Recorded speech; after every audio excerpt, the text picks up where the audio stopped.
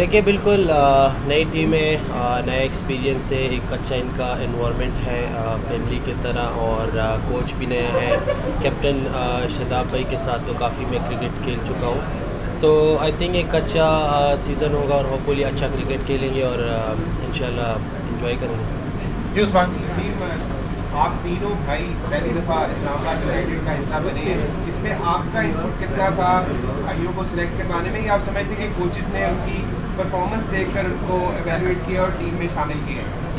देखिए, सबसे पहले तो आपको एक बात बता दूँ कि मैं ख़ुद प्लेयर हूँ और अभी मैं इतना इतना भी क्रिकेट नहीं खेला हूँ कि या तो मैं कोई अभी लेजेंड प्लेयर हूँ या कोई टीम का सिलेक्टर हूँ या किसी इंटरनेशनल टीम का सिलेक्टर हूँ या कोच हूँ। मैं ख़ुद एक प्लेयर हूँ, खेलता हूँ और यकीन करें मेरे उनसे इतनी ज़्यादा क्रिकेट की बात भी नहीं होती क्योंकि देखिए, उन्होंने ख़ुद मेहनत की है और सेलेक्ट हुए। कल मैं ड्राफ्ट में, जब मैं ड्राफ्ट से बाहर गया तो वो सेलेक्ट हुए।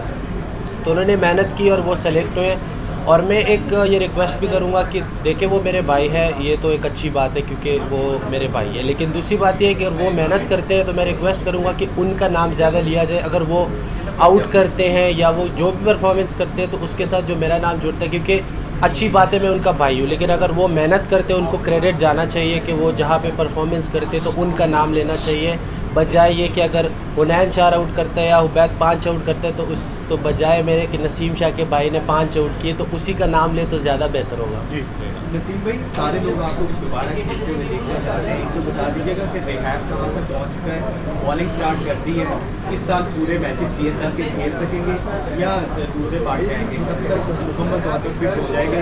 ग्राउंड में आ जाएगा फिटनेस वाला जो सवाल है ना वो मेरा ख्याल है पी सी उस पर रिस्पॉन्ड करेगा। रिहैब तो इनका चल रहा है और अच्छे तरीके से चल रहा है और बॉलिंग स्टार्ट कर दी है। बॉलिंग स्टार्ट कर दी है जी।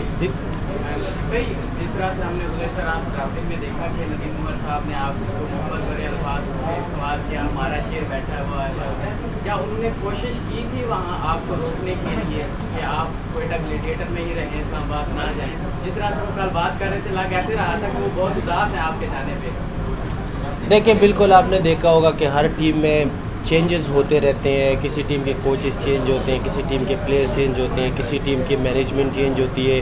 तो देखिए लाइफ में आपको सम टाइम एक न्यू एक्सपीरियंस करना होता है और मैं, मैंने बड़ा इन्जॉय किया वहाँ पे खेल के और बड़ा नदीम भाई का मैं बहुत यू नो थैंक यू करता हूँ कि उन्होंने बड़ा ख्याल रखा और यू नो हर चीज़ की अवेलेबिलिटी और हर चीज़ जो है ना मेरे लिए अवेलेबल किया और बड़ा इन्जॉय किया वहाँ पे और मैंने सोचा कि एक यू नो न्यू एक्सपीरियंस एक लाइफ में इंसान न्यू एक्सपीरियंस करता है कि मैंने टीम इस्लामाबाद ज्वाइन किया और देखिए इन यहाँ पे अच्छा एक्सपीरियंस इंजरी के बाद कम बैक करना थोड़ा सा मुश्किल होता है क्योंकि आपके बैक ऑफ़ द माइंड वो रहता है कि यार मुझे इंजरी हुई है।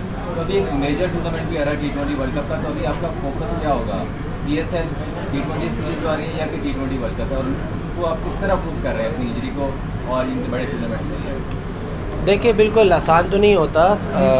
नो डाउट लेकिन यह है कि डिपेंड करता है आपने कितना अच्छा रिहेप किया और आपकी बॉडी कैसा फील करती है और आप आके कुछ मैचेस खेलते हो और यू नो आप अपना रिदम दोबारा अपने रिदम में आ जाते हो। तो अभी तो फोकस यही है कि मैं पी एस एल के लूँ पी एस एल में अपने रिदम को लाऊँ अच्छी परफॉर्मेंसेस दूँ इन दिन बाद में इंशाल्लाह वर्ल्ड कप के बारे में। तमाम बैट्समैन बॉलर सारे कहते हैं कि नसीम सबसे तो जो दूसरे बॉलर्स भी हैं आप जिस टीम में जाते हैं उस टीम का बैलेंस बहुत अच्छा बनता है। आपको भी ऐसा बैट्समैन लगता है तो आप समझते हैं कि यार ये तमाम फिट है हर लिहाज से जो आपको टफ तक दे सकते हो? देखिए सबसे पहले तो इन सब लोग की शुक्रिया जो ये बात करते हैं। दूसरा ये कि देखिए मेरे हाथ में मेहनत करना और हमेशा मैं यही सोचता हूँ कि यार मैं टीम के कैसे काम आ सकता हूँ वो बैटिंग हो बॉलिंग हो फील्डिंग हो। मेरे हाथ में एफ़र्ट करना मेहनत करना कोशिश करना और हर टीम में ये कोशिश करता हूँ कभी ये सोचा नहीं है आ, कि यू नो किसी भी टीम में कोई मेरे लिए क्या सोचता है। पर मैं ये सोचता हूँ खुद कि यार मैं किसी टीम में किस तरह काम आ सकता हूँ। दूसरा आपने बैट्समैन की बात की तो वो बात मुझे समझ नहीं आई। कौन ऐसा बैट्समैन है जो आप आपके लिए आ, कौन ऐसा बैट्समैन है जो आपके लिए टफ या देखिए एक बैट्समैन लूँगा तो आ, आसान नहीं है क्योंकि बहुत सारे अच्छे बैट्समैन हैं टी ट्वेंटी में जैसे इंग्लैंड का हैरी ब्रूक है जो कुछ तो ऐसे प्लेयर्स हैं जिनके पास बहुत ज़्यादा शॉट्स है तो टी ट्वेंटी में उनको आप बॉलिंग करते हो तो एक चैलेंज होता है। आई मीन काफ़ी अच्छे बैट्समैन अब एक का नाम लूँगा तो लिस्ट बॉल लंबी हो जाएगी। अच्छा ये बताएँ कि हमने देखा पहले आपका नाम फिल्मी के साथ जुड़ा, फिर मुल्तान के साथ भी जुड़ता रहा, लेकिन फिर एट दी एंड आप फिर यूनाइटेड के साथ आप टीम में आ गए। क्या ऐसी वजह बनी कि आप यूनाइटेड की टीम साथ?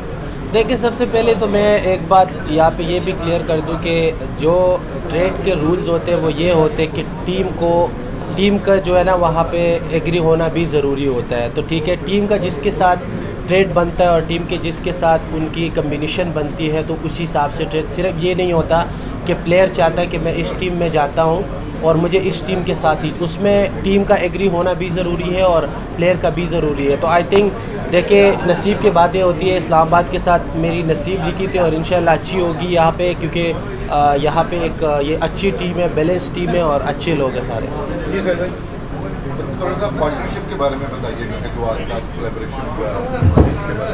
पार्टनरशिप जी, हमारा ये इस्लामाबाद यूनाइटेड के साथ तीसरा साल है और हम लोग जो है ना, पिछले तीन साल से पी एस एल में क्रिकेट में बहुत एक्टिवली पार्टिसिपेट कर रहे हैं, लेकिन सिर्फ़ इस्लामाबाद के साथ ही जा रहे हैं।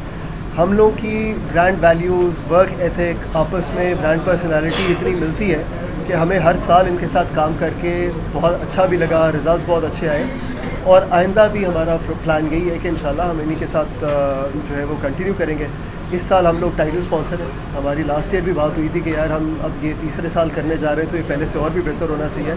और अब जिस तरह की टीम लग रही है नसीम के इंक्लूजन का, जिस तरह आपने कहा कि जिस टीम में जाते हैं, एक बैलेंस टीम हो जाती है, बाकी प्लेयर्स बहुत बैलेंस हैं। सो हम लोग बहुत एक्साइटेड हैं। हमें पता है इंशाल्लाह रिज़ल्ट बहुत अच्छे आएँगे। क्रिकेट पाकिस्तान में सबसे बड़ा पैशन पॉइंट है। सो लोग बहुत ज़्यादा फॉलो करते हैं और अपने प्लेयर्स को और भी ज़्यादा जो है ना, एक जज्बा और आ जाता है जब वो होती है। सो हम लोग बहुत एक्साइटेड हैं we are looking forward to इंशाल्लाह इस दफ़ा का सीज़न जी। तीन साल हो गए हैं आपको इस्लामाबाद यूनाइटेड के साथ है। तो इस मरतबा फ़ूड पांडा शायकीन क्रिकेट इस्लामाबाद यूनाइटेड के फैंस के लिए क्या लाएगा? कुछ ऐसा है जो यार हम लोगों का इंशाल्लाह हमेशा यही प्लान होता है कि जितनी ज़्यादा डील जितनी ज़्यादा वैरायटी जितनी ज़्यादा आसानी लोगों के लिए पैदा कर सकें, उतनी करें। सो इस दफ़ा भी इस्लामाबाद यूनाइटेड और पीएसएल की पूरी की पूरी पार्टिसिपेशन में आप देखेंगे। थ्रू आउट द टूर्नामेंट भी, उससे पहले भी, उसके बाद भी जो है ना, बहुत ज़्यादा कंज्यूमर्स के लिए डील्स भी होंगी इन टर्म्स ऑफ़ जो हम साथ मिल के चीज़ें करते हैं। बहुत एंटरटेनिंग चीज़ें आपको नज़र आएँगी। टीवी के ऊपर भी डिजिटल पे भी बाकी जगह भी ऑन ग्राउंड भी हम लोग बहुत एक्साइटिंग चीज़ें कर रहे हैं। सो एंटरटेनमेंट के लिहाज से भी और खाने की चॉइसेस के लिहाज से भी कंज्यूमर्स के लिए ऑडियंसेस के लिए बहुत कुछ होगा। बहुत बहुत शुक्रिया। एहसन साहब आप क्या कहेंगे पार्टनरशिप के हवाले से? मैं ये कहूँगा यार कि जैसे विकास साहब ने बताया तीन साल से हम फ़ूड पैंडा के साथ हैं और जो अब फाउंडेशनल जो शिफ्ट आया है वो ये है कि अब ये हमारे टाइटल स्पॉन्सर हैं। सो इन्होंने हमें परखा है दो साल और उसके बाद उन्होंने सोचा है कि हम इस काबिल हैं और हम भी ये समझते हैं कि ऐसी टीम ऐसी कंपनी जो कि इंटरनेशनल लेवल के ऊपर एक्सेलेंस में बिलीव करती है और हम भी एक्सेलेंस में बिलीव करते हैं उनको हमारे टाइटल पे ही होना चाहिए और हमारे बैली पे ही होना चाहिए। तो मैं बहुत खुश हूँ इस मौके पे और मैं वकास साहब से बिल्कुल एग्री करता हूँ कि इंशाल्लाह this is just start of a very long journey actually ये जो अभी ये फाउंडेशनल हमारी जो बन गई है एसोसिएशन एंड पार्टनरशिप इंशाल्लाह अगले सालों को भी चलेंगे। Okay thank you so much जी आप सबका बहुत बहुत शुक्रिया आपकी तशरीफ़ आगे का बहुत बहुत शुक्रिया। ये अगर आप माइक्स ले लें ताकि हम लोग की ग्रुप फ़ोटो ले लें। आराम